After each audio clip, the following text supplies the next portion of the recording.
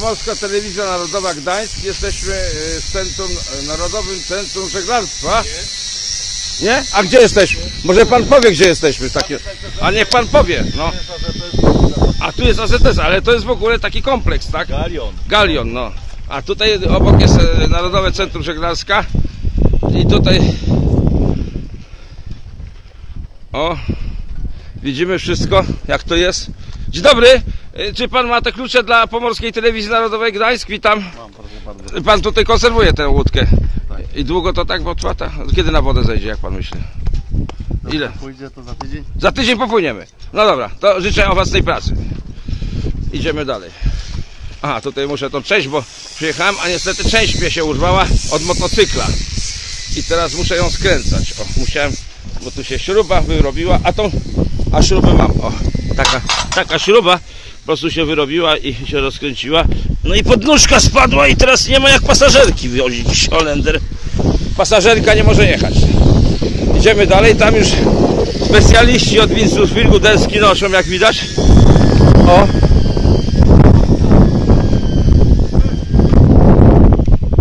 A, a to jest pokrowiec do kamery, włóż do kieszeni. Do kieszeni włóż. To jest pokrowiec do, kamery.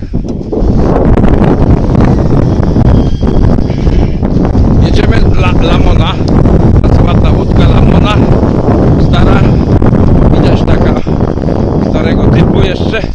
Tu wszystko zobaczyć można na brzegu, jak jeszcze stoi, ale za chwilę będzie na wodzie, a coraz więcej jest łódzi na wodzie, bo jak mamy dzisiaj 16 kwietnia y, 2016 roku i pogoda piękna, weekend, więc prace bosmańskie trwają, jak widać, i łodzi, coraz więcej łodzi na wodę schodzi. Jachty, motorówki, także niebawem sezon żeglarski się rozpocznie, jak widać. Tu nawet deski windsurfingowe mają. Dzień dobry, Pomorska Telewizja Narodowa. A ty gdzie płyniesz? Cześć, jak masz na imię? I co, i gdzie płyniesz? Tam płynę. I będziesz co, ćwiczył? Na tej desce, a ty startujesz w zawodach? E, tak.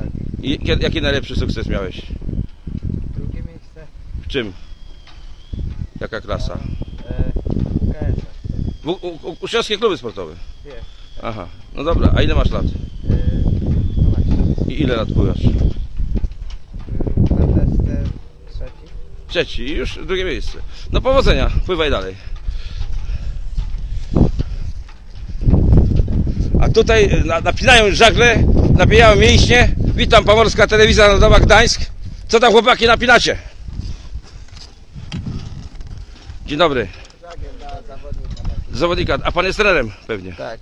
Witam. Co prawda na zastępstwie, ale... No ale, ale pan tutaj ćwiczy tą młodzież. Tak. I jak garną się do tego sportu żeglarskiego? No garną się, Nie- chętnie schodzą na wodę. Schodzą i pływają. I przychodzą regularnie na treningi.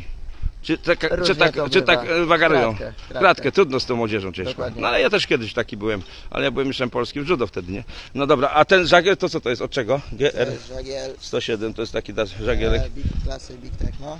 Big Techno, to na polski jakby to było? Big to znaczy duży.